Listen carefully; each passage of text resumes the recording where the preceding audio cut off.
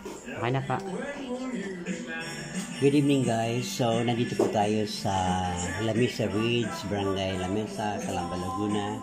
At ah, nandito po tayo sa bahay ng ating minamahal na kliyente na si Ma'am Ellen. So, ang pinagawa po ni Ma'am Ellen ay ang Brazilian hair botox. So, napansin niyo po na napakaganda po ng buhok ni Ma'am Ellen ngayon. Makimkap at saka malambot. Ayan. Oh. Ayan.